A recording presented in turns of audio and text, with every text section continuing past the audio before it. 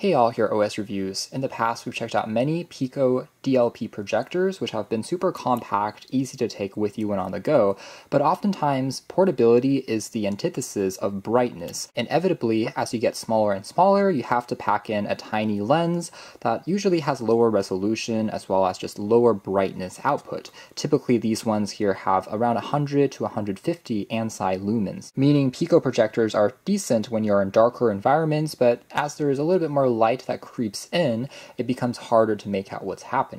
Today's product, though, tries to break that mold. It's another projector from AAXA, and this is their P6X Pico projector, claiming to be the world's brightest battery-powered Pico unit, with up to 1,000 ANSI lumens, an incredible 10 times increase in brightness level versus the average DLP unit.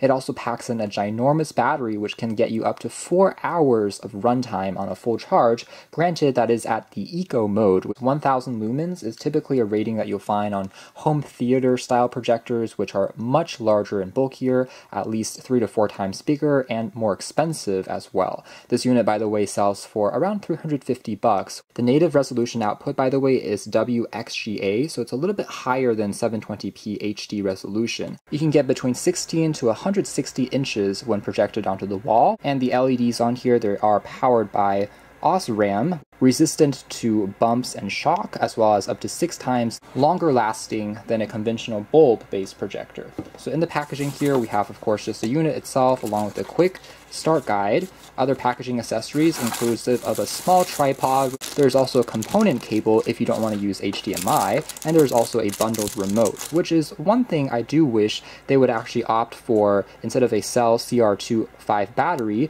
a AAA battery approach would be a little bit more easy to replace but it is what it is. You also get the charger adapter, which is kind of large. It's similar in size, in fact, to a laptop charger, but it does the trick, uses a barrel plug, juices up in around two and a half hours. Now taking a closer look at the projector itself, as aforementioned, compared to a normal Pico unit, it still is larger. Here for size comparison, and you can tell that in terms of thickness, it's also going to be bulkier as well. But ultimately, this is still something that can fit into a backpack without too many problems, just not necessarily pocket-sized, I'd say. Anyways, the construction quality here is decent, made out of a polycarbonate plastic, although it has a very glossy top, uh, which is a little bit of a fingerprint magnet, but it does look very shiny. The controls also are pretty easy to operate, although the keys here are a little bit on the loose side, but they are still easy enough to use in terms of navigating around. On the back here, we have access to some of the ratings, including the giant 15,000 milliamp hour capacity battery resolution there, and also a battery meter, which is a pretty unique feature. So if I set it onto the charge mode, for instance, you'll see that right now we have roughly 50% battery left. We have the 5 watt speakers, which are pretty big as well for a projector. You also get the IR receiver for the remote control. The other spine features the power input, USB thumb drive if you have any local files stored on a memory stick, it can read it back directly. Although it's worth mentioning that this model doesn't have any wireless projection capabilities. You have to connect an HDMI cable or plug in something like a Chromecast of your own to add that capability in, which is not too big of a deal, but just something to keep in mind. AV as well as headphone jack if you don't want to use the built-in speaker, as well as the full-sized HDMI port, a focus dial, and then the switch here for on-off and the charging mode.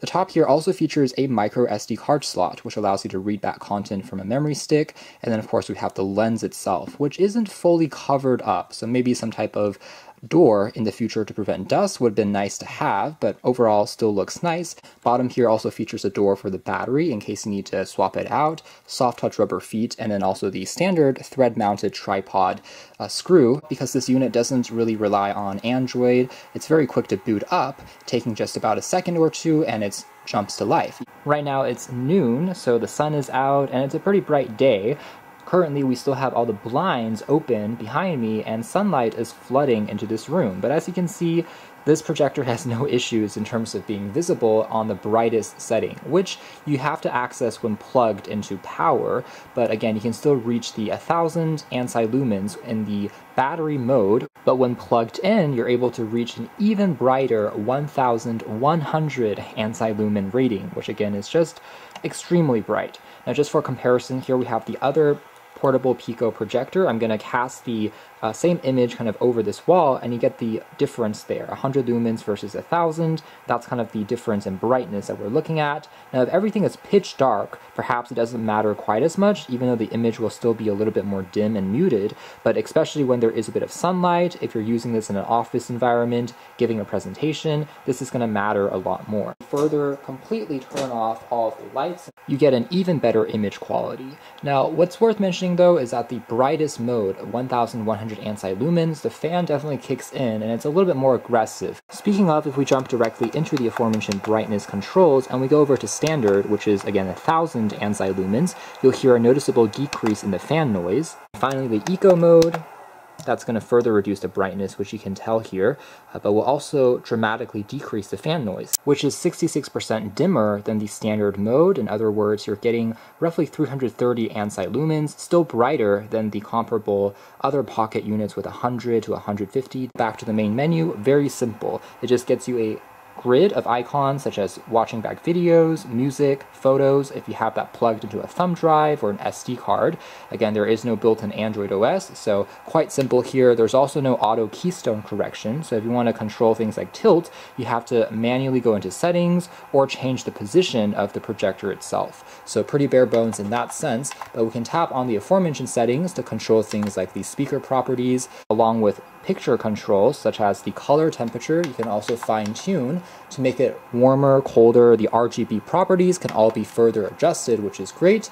And also the orientation of the image, if you want to flip it around, can also be done. And that's pretty much it. The final setting here is just choosing between HDMI and analog. The takeaway here is that this is still sharp enough that if you're using it for doing a little bit of text reading, business presentations, it still is legible without too many issues. We can see that from this web page in that the details on the page are still more than readable. And by the way, right now we have a virtual screen size of roughly 85 inches on the wall. So it's already pretty large and it's not going to be pin sharp. Of course, the larger that you go, you have less pixels per inch, but things are still easy enough to read. Colors are also decent, uh, a little bit on the cooler side, but again, you can easily calibrate that by going into the RGB properties, depending on what type of image and saturation level you are comfortable with. And video playback test, we're going to see how it fares.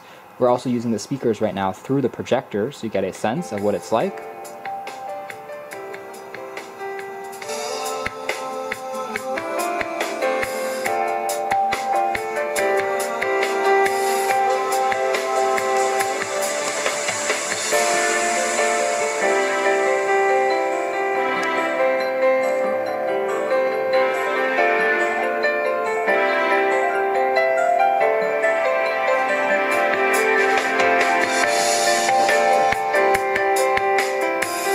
Alright, so some takeaways would be that the speaker quality is actually very good for a one built into a projector because it's 5 watts. It's significantly larger than most of the other pocket units, actually has a bit of depth in terms of bass when it hits a drum beat, which is quite satisfying. With that being said, the sound isn't the most dynamic, especially in the trebles, so if you are really a sucker for audio, then probably using even better sounding speakers could get you a more immersive experience. Granted, the one built on in is ready perfectly serviceable and above average for a projector speaker, I'd say. Now the overall image quality is also very good in terms of sharpness, especially brightness. In fact, it's so bright that it's almost overwhelming the camera here at times. You see a little bit of that scanning uh, motion, which is invisible to the human eye. It's just an artifact from the camera here, but you are getting just a very pleasant looking image. Of course, a full 1080p native res will get you even more detail, let alone 4K, but that's also going to be a additional multiplicative increase in price. So this strikes a good balance for what you are paying for and ultimately a very big step up compared to 480 that is obviously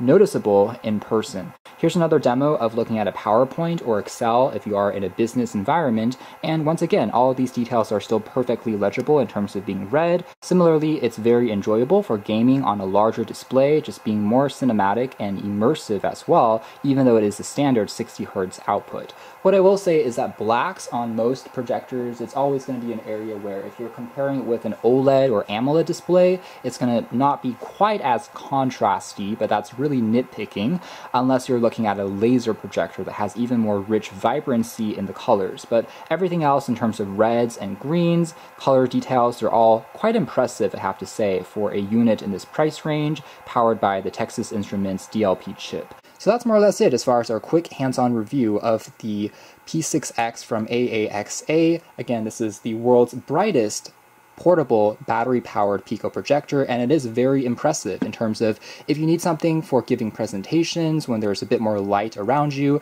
The big battery also is really helpful if you're on the go and further away from an outlet, not to mention that the overall resolution is also relatively clean and good for the overall size and price point of this particular unit.